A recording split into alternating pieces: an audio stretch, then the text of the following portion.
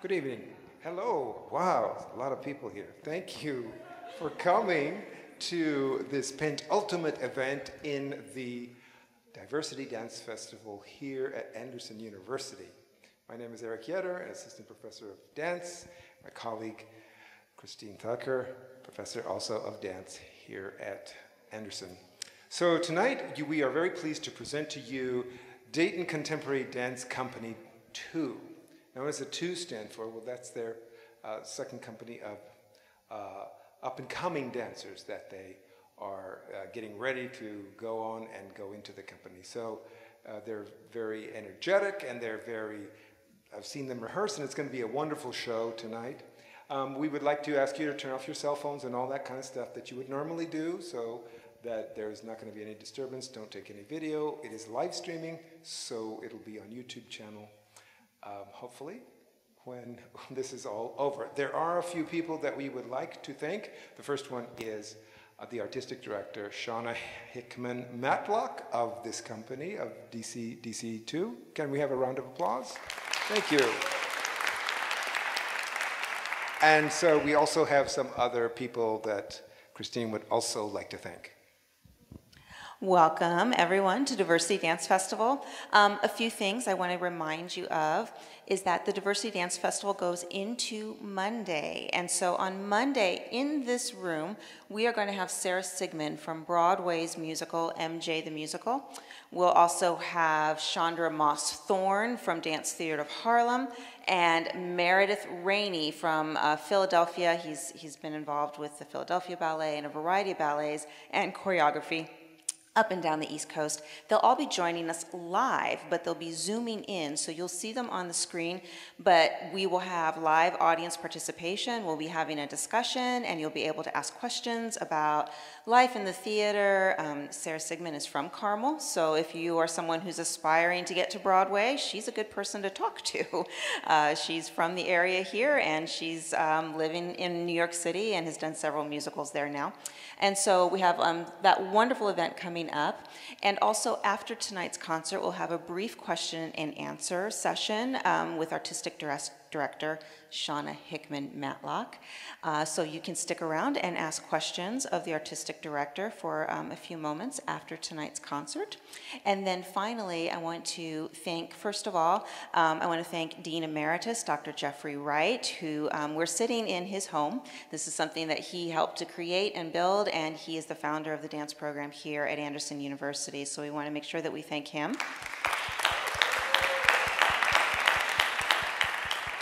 And we also want to thank um, Dr. Caroline Ahn, who is one of our directing leaders here at the School of Music, Theater, and Dance, and Dr. Chris Holmes for their support. And finally, we have to thank the money. Anderson Madison County Visitors Bureau, who are generous sponsors of Diversity Dance Festival. They have been sponsors of ours for two years now, and we're so grateful for all the help that they give, their belief in sharing the arts with the community free of charge. Um, remember that all of this is free of charge to you, and we'll be continuing to do the Diversity Dance Festival, bringing in master classes and cultural dance classes that are available to you, to the community free of charge thanks to the Anderson Madison County Visitors Bureau. So with that,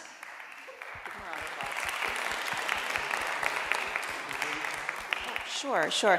Um, our dancers will be enjoying Deeply Rooted Dance Theater tomorrow. Now, this is not an open event necessarily unless you are a pre-professional dancer.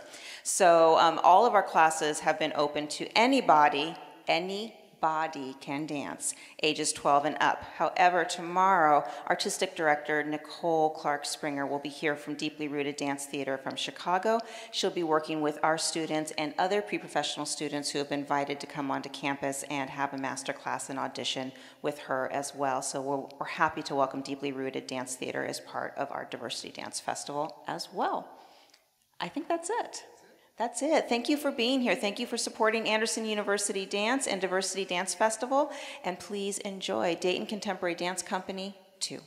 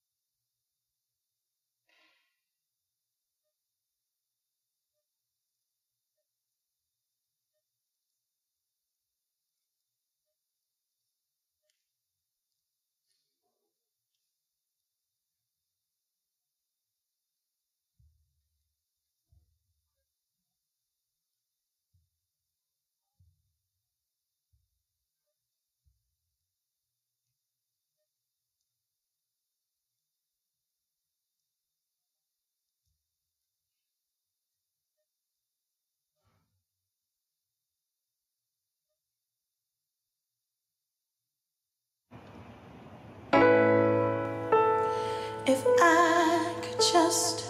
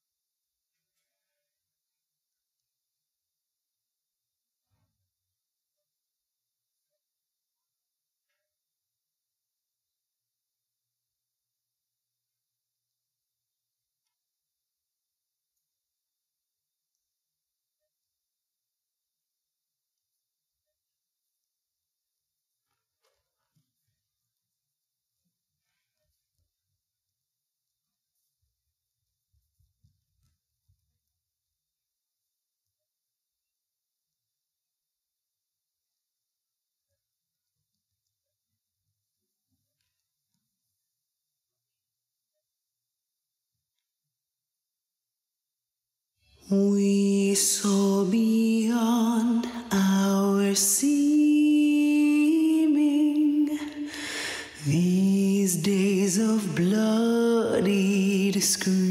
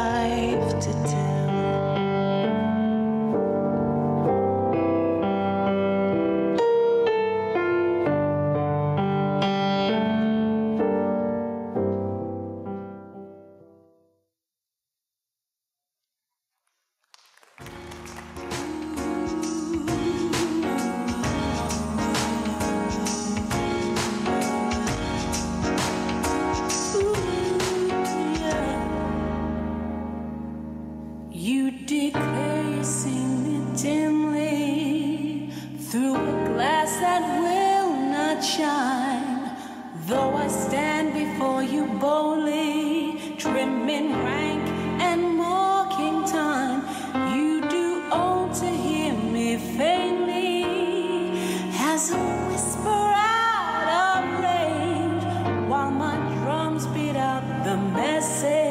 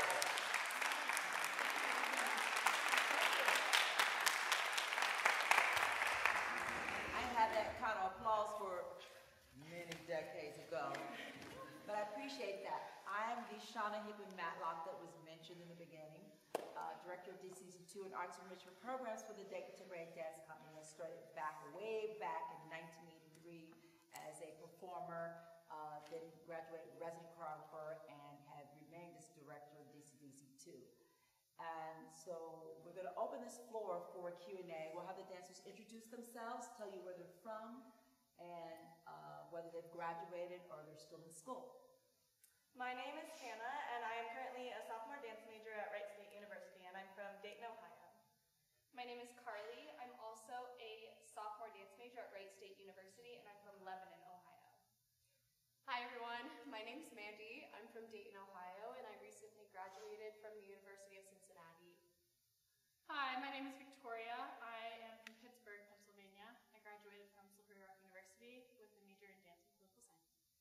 My name is Farah, and I'm not from Ohio. I'm from Malaysia, which is a country in Southeast Asia. I graduated from Hope College in Holland, Michigan, um, last May with a degree in dance and a minor in exercise science.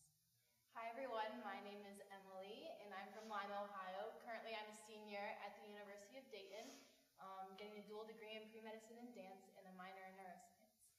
Hi, I'm Chelsea. I'm from Clifton Park, New York, and I recently graduated from Manhattanville College in Purchase, New York, just outside of the Bronx with a major in dance. Hi, my name is Maya. I graduated from Northern Kentucky University with a BFA in dance, and I'm from Fairfield, Ohio. Hi, my name is Kristen. I'm from Salisbury, Maryland, but I graduated from Radford University in Radford, Virginia, and I graduated a year ago with a BFA in dance and a minor in theater. I'm McKellen. I'm from West Valley City, Utah, and I graduated in 2021 with a degree in dance and a minor in philosophy and humanities from Utah Tech University. Now, you're probably wondering why there are no men on the stage, right? Interesting, when the Dayton Contemporary Company first came to the assistant art professional company, it was all women before there were men. And then Jeraldyne Blunden, our founder, uh, went out and sought young men who were in athletics and say, come, train with my company. Uh, DCDC2, as our first company, hosts auditions. Uh, I've had men in the past. Last year I had men, but this year none came to audition for me. So I am seeking men, put out the word, to join our company. So we're going to open the floor for you to ask questions. Um, just raise your hand and we'll do our best. Anybody? Oh, nobody likes to be the first. so I'll, I'll start the question off. Did you enjoy it? Yes. Good. So I started you off. so, yes. Did colors represent certain, like a certain topic for each piece? The costumes. Yeah, the Did the colors. colors represent, um, not necessarily, with any uh, choreographer's choice on what they select is based off their interpretation of their work. Um, so that is, uh, for me, I did uh, Feel the Works. Um, hmm, some, yes, some I will change the costume. I was just talking to the, uh, the, uh, what's your name back there in the booth? I forget. It was a cool name. Torin. That about, I don't know why I chose those at the end piece. That was a bad idea. So I will be changing them again.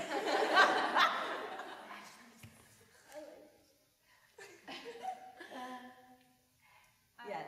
Oh, yes. I'm sorry, I'm sorry. Which one? Okay, so my eye went two Um, places. compositionally speaking, um, you have a very different style throughout several of your pieces, and I really enjoy how you put the pieces together compositionally. Um, what are you thinking about when you're starting to create a piece, or how do you make decisions based on how you're going to move groups in and out of the space, or what kind of style you're going to use? Just give us an idea of your compositional techniques. Okay, the first work was uh, by a, uh guest choreographer through a grant, the Allegro Foundation grant that we received. She was a former member of DCDC2 and a graduate of Wright State University. Um, and so, McKellen, can you describe what that process was and what Abby had communicated with you regarding the compositional? Yeah, so initially we all started by learning the opening phrase that you saw Emily and Farah do, and we built off of that. And the sections that we did where there were the trios, there was the trio, there was the quartet, and there was a solo, those pieces were put together by the dancers. So we initially came up with about 30 sets of eight. And then Abby came in and she etched them in a way that aligned with what she was wanting to portray through her movement. And then towards the end, I think in collaboration with the dancers, we were able to kind of figure out what the crux of the dance would be. And for Abby, it represented trust. And so then we see these lifts coming in towards the end, and we see Emily walking towards this big group of people. So it kind of ebbed and flowed throughout with what compositional tools we were using and how they fit into ultimately what the work would become. But essentially, it was it was a little piecemeally, but in doing that, we were able to find ways in which previous pieces connected with the overall theme of the piece and how we could integrate this to fit into the theme of the piece. So that's kind of how the first piece came together. And so most of it uh, was my crafting, and when I first started out in choreography, I really used a lot of movement. Uh, so my vocabulary wasn't limited, but I liked the breadth and, and, and uh, taking from uh, what we call linear movement. But once I worked with Doug Varone, who taught me about humanism, the subtlety, gestures, I'm like, oh, that's it. And then I worked with Donald Byrd, who had this incredible abandonment in the movement. I'm like, oh, that's it. And then I started going away from, I think, the beauty of the movement to the quirk and the gesture of the movement. I think is interesting. I think it gives it a uh, emotional content or an intention. So, and I used to uh, create all the work from beginning to end. I didn't want to repeat a step. And so one day I asked two of my young artists who were in the company, I said, give mama, they call me mama, give me limitations. So they said you could, you, you had to stay on the floor. You, you, you, you couldn't run. You couldn't turn, I love to turn. You couldn't turn. So it forced me to kind of come up with a different uh, uh, formula for creating work. And so I, I didn't understand what Carlos would give me, uh, said I need you to give phrases. I'm like, oh, they should be creating in the work. And then I began to appreciate that that that's what we want to do is engage the artists in that and find that artistic voice and then it brings an element of them and an ownership. So what I do a lot of times there's phrases that I create or I'll say, here's prompt words. I might say, um, peace, Emily. And if I like it, I say, yes. Or I may say somebody, peace. No, wrong answer. because I'm looking for something. And so, and then I may take a phrase that I like, and I may say, give me, a, give me four eighths based on this, and I go, when I say no, that means exit out, keep. Then I may manipulate what they do, and then I may say, quirk it up. Don't give me anything that's very pretty and movement based, arabesque. I need it to quirk and twerk. Uh, and so we craft that on that journey together, and people say, what is it based off on? Sometimes it's based off on the right artist, the contribution of the material, the music choice, the costume choice, the lighting choice, and sometimes it's this great body of ingredients, and you get that incredible red velvet cake that just tastes like mmm. yes. How does your company work with the dancers that are still in school Um, anyone in school want to ask that question? Good question. um, it's a lot of um, communication between the two. UD also works with uh, D2 as well. Um, we kind of, there are things where we